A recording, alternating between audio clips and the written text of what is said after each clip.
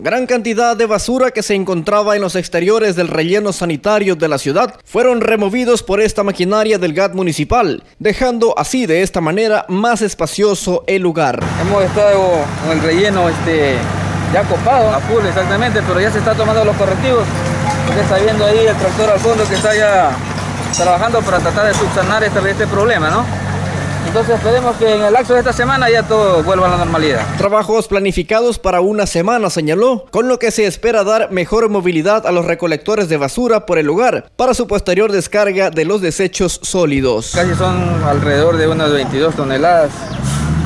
Pero bueno, por eso estamos para, para tratar de, de arreglar este, este, problema. Bueno, seguir dándole, dándole un uso al, a lo que es el relleno sanitario. Ya se está buscando el, el lugar idóneo para la para la compra del terreno que lo que es para el nuevo relleno sanitario del Cantón Berenice. Señaló además que el desembarque de otro tipo de residuos, entre ellos materiales de construcción, ha sido motivo para el posible colapso de este lugar. Que lleva el colapso también pues, de nuestro relleno. Usted se da cuenta de que Arenillas pues ya está es muy grande ya, ya, hay, ya este, hay bastantes habitantes, ¿no? Entonces, por ende, pues hay mucho más consumo de, de, residuos. Anteriormente estaba, bueno, por, por la pandemia, pues ya no están los, los señores recicladores que también ayudan bastante en lo que es este, en la recolección de los residuos. Justamente se hizo la compra de, uno, de, una, de unas bacterias para justamente para lo que es el mal olor del relleno sanitario que afecta también a pues en este caso las ciudadelas que están aquí están muy cerca, ¿no? Kennedy, exactamente. San Francisco de Asís, La Esperanza, Libertad, la parte de las antenas bajas, ¿no?